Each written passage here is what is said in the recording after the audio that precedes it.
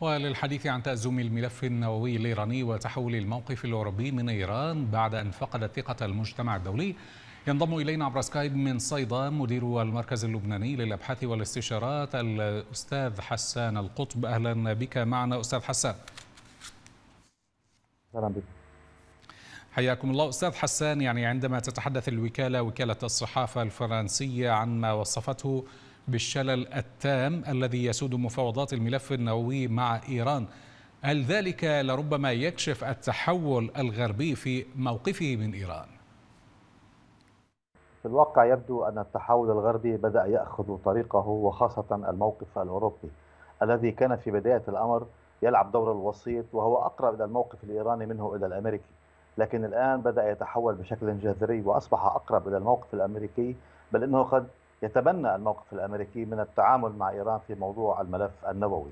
ما ذكرته قبل قليل في تقريرك هو أن موضوع الآثار آثار اليورانيوم التي وجدت في أكثر من مكان في إيران والتي ترفض إيران أن يقوم وكلاء أو خبراء الوكالة الدولية للطاقة للبحث عن أسباب هذه آه، وجود هذا اليورانيوم أو أن تقدم إيران مبررات واضحة عن سبب وجود هذه الآثار يثير الشك لدى الدول الغربية بشكل عام وخاصة منها الأوروبية. وهذا يؤكد عدم مصداقية إيران في تعاملها مع هذا الملف وفي مفاوضاتها التي تحاول أن توسط أكثر من دولة مع الاتحاد الأوروبي ومع الولايات المتحدة وخاصة الدولة العمانية مؤخرا لأنها واضح أن هناك عدم مصداقية عدم وضوح في التعامل وعدم وضوح في تقديم الأدلة الكافية لطمأنة الاتحاد الأوروبي وكذلك المجتمع الدولي حول طبيعة المشروع النووي الإيراني وما قد يصل إليه مستقبلا هذا المشروع. يعني وهناك هل... أيضا أسباب أخرى. نعم تفضل. نعم. عفوا يعني هل تتوقع أن يكون الموقف الأوروبي أو أن يتخطى الموقف الأوروبي موقف التعبير عن الانزعاج والسخط من آه، المماطلة الإيرانية وعدم التعاون الإيراني إلى خطوات لربما تكون أبعد؟ صحيح لأن هناك أسباب كثيرة أيضا تقلق الاتحاد الأوروبي ودول الاتحاد الأوروبي. على سبيل المثال هناك موضوع الرهائن.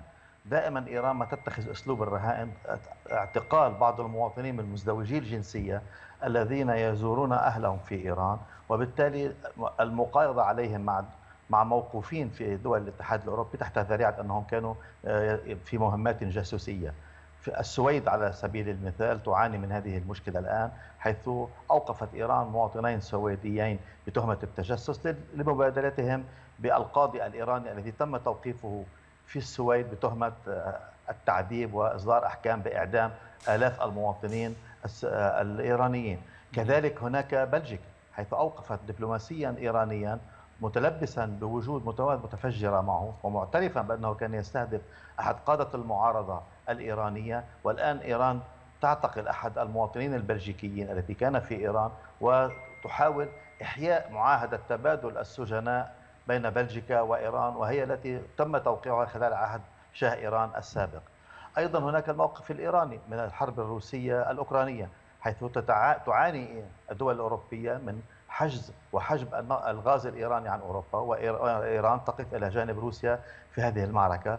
أكثر من أنها تقف إلى جانب روسيا هي تستهدف الشركات الأمريكية والأوروبية التي تسعى لمزيد من إنتاج الغاز في كردستان العراق وتقوم بقصفها بين الحين والآخر بهدف منعها من إنتاج الغاز وتزويد أوروبا بمزيد من الطاقة حتى تخرج من أزمتها أو على الأقل تخفف من حدة الأزمة. لذلك من هنا نرى أن الموقف الإيراني مزدوج حيث تقوم بالتفاوض مع الدول الأوروبية ومع الولايات المتحدة وفي نفس الوقت تقوم بإعلان حرب غير معلنة على هذه الدول بطريقة آه، غير يعني غير واضحة وبالتالي لكن آثارها تدميرية.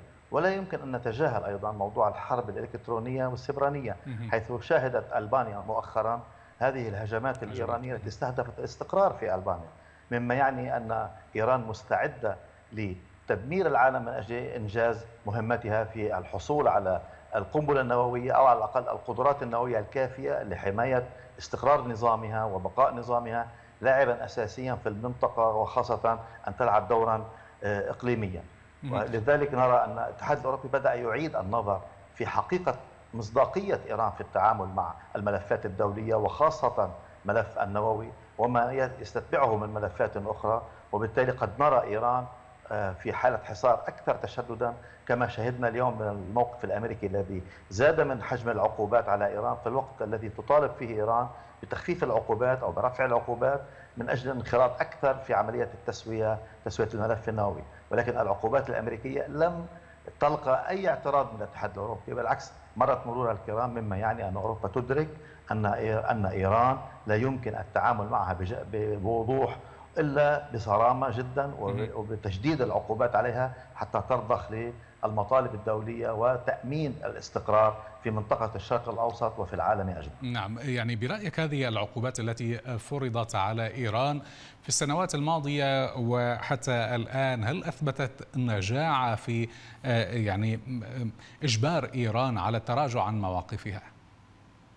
نظام إيران هو نظام ديكتاتوري لا يأبه لحال المواطنين في إيران.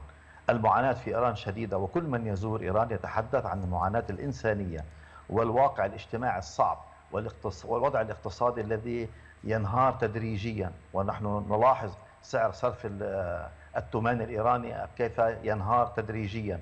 كذلك نرى ونلحظ آثار الوضع الاقتصادي السيء في إيران على الأدوات والأحزاب والقوى والميليشيات التي تدعمها إيران سواء في العراق أو في اليمن أو في لبنان وحتى في سوريا. سوريا تعاني من أزمة اقتصادية خانقة وإيران لا تستطيع أن تقدم لها شيئا.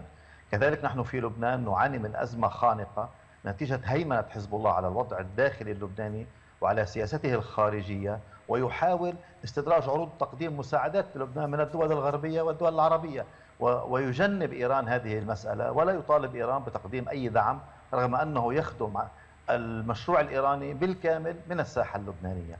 ومؤخرا الحديث عن استخدام الفيول الإيراني لتشغيل معامل الطاقة في لبنان لا يعني لا يستحق التعليق عليه لأن إيران نفسها تعاني من أزمة في إنتاج الكهرباء ونلحظ دائما مظاهرات داخل المدن الإيرانية تطالب بالحصول على كهرباء 24 ساعة على 24 ساعة.